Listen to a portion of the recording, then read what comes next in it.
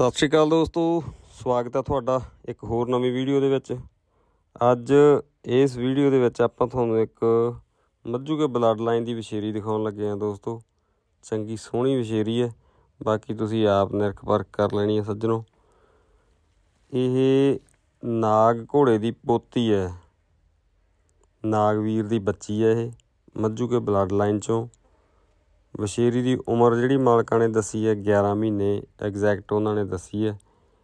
ਇਸ ਟਾਈਮ ਤੇ ਉਮਰ ਇਹਦੀ ਤੇ ਮਾਂ ਦੀ ਜਿਹੜੀ ਇਹਦੀ ਹਾਈਟ ਹੈ, ਉਹ 61 ਇੰਚ ਹੈ। ਆਪ ਇਹ ਜਿਹੜੀ ਨਾਗਵੀਰ ਦੀ ਬੱਚੀ ਹੈ ਨਾਗ ਘੋੜੇ ਦੀ ਪੋਤੀ ਹੈ ਦੋਸਤੋ।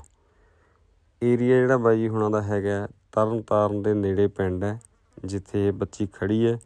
ਜੇ ਕੋਈ ਸੱਜਣ, ਮੱਝੂ ਕੇ ਬਲੱਡ ਲਾਈਨ ਦਾ ਬੱਚਾ ਭਾਲਦਾ ਹੈ, ਚਾਹਵਾਨਾ ਵਸ਼ੇਰੀ ਰੱਖਣ ਦਾ। ਤਾਂ ਉਹ ਬਾਈ ਹੁਣਾਂ ਦੇ ਨਾਲ ਜ਼ਰੂਰ ਸੰਪਰਕ ਕਰ ਲਿਓ।